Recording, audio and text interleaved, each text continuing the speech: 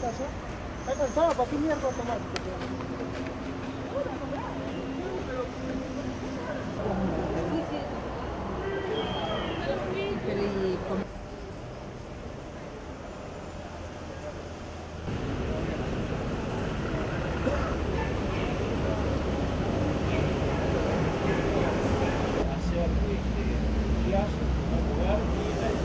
Descartada la influenza y estando en un estado de sepsis, también se cultiva al paciente para ver si tiene alguna bacteria que está produciendo el estado de gravedad del mismo.